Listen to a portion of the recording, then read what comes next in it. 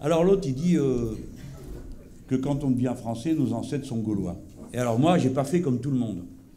Parce que tout le monde s'est mis à aboyer. Ah, nos ancêtres, les gaulois. Bah bon, c'est comme vous voulez. Vous pensez que nos ancêtres sont des gaulois. Je trouve pas ça très raisonnable. Mais je suis d'accord pour qu'on discute de l'identité. Allez, vous voulez parler de ça? Venez. Parlons-en. Parce que nous avons quelque chose à dire. Nous avons quelque chose à dire sur l'identité de la France. Oui, oui certainement pas gaulois. Bon, c'est marrant quand même, parce qu'on aime tous Astérix et Obélix. Moi, je veux bien faire, euh, Panoramix. Hein. Vous choisissez votre rôle, euh, bon, ça nous va, mais enfin, ça tient pas debout. Euh, bon, des Gaulois, il y en avait de toutes les variétés possibles. Je suis sûr que vous savez comment vous appelez votre tribu de Gaulois, là? De qui vous êtes les, les descendants? Vous le savez? Qu'est-ce qu'ils sont instruits ici? Les Morins, il paraît. Il paraît que vous en avez envoyé 5000 prendre une pilée à Alésia.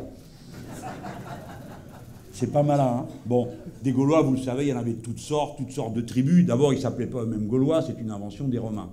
Et nous autres, les Français, parce qu'on est à part, quand on a fabriqué le récit national, c'est bien qu'on ait fabriqué un. Évidemment qu'on en hérite. Moi, mes ancêtres, ils n'y étaient pas. Hein. Mes ancêtres, c'était des Ibères et des Romains, je sais pas quoi. Les gens qui tournent en rond là autour de la Méditerranée depuis 3000 euh, ans, c'est tous les mêmes, un coup là, un coup là, un coup là, un coup là, et on recommence. Bon, donc c'est pas on a inventé un truc qu'on est le seul peuple d'Europe à avoir fait. Nous sommes les descendants des gallo-romains. Ben voilà, on s'est inventé euh, encore une qualité. Les Espagnols auraient pu s'appeler les Ibéro-romains parce qu'ils ont donné trois empereurs à Rome. Nous, rien du tout, hein, un. Et encore, il était de passage. Julien l'Apostat, un brave type. 389 de notre ère. Bon, a un moment. C'est pour dire, c'est pas ça. Mais si vous voulez chercher une identité, eh bien moi je suis d'accord pour avoir cette discussion. Dans l'histoire de France, ce qui fait sens, c'est la rupture, pas la continuité.